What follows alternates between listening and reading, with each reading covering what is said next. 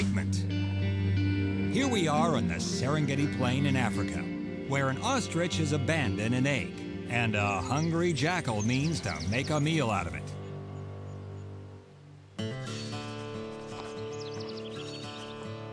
What we've got here is a highly motivated animal trying, and uh, failing to figure out this culinary conundrum.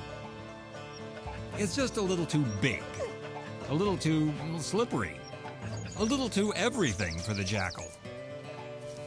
There's three pounds of food in there, and it's gonna stay in there, right?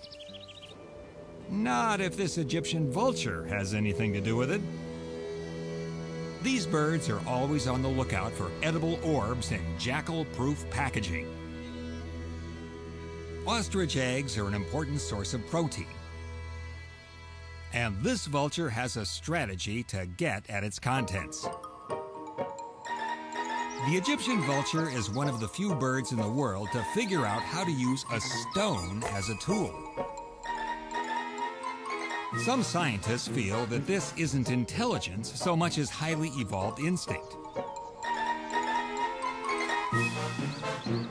Whatever it is, it works.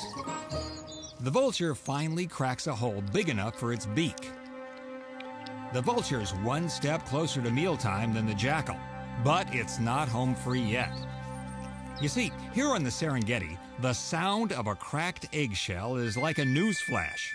The word is out, and other diners are ready to line up.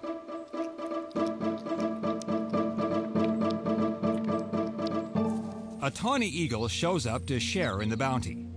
But an even bigger customer is about to appear. Check out this lappet faced vulture. Would you want to mess with this bird?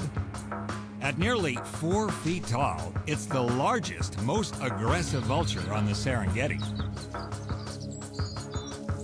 When it comes to a food find like this, pecking order is strictly observed. The biggest bird gets the booty.